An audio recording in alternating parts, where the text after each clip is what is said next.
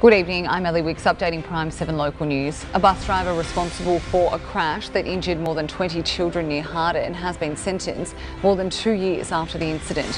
The 60 year old driver pleaded guilty to negligent driving and causing bodily harm.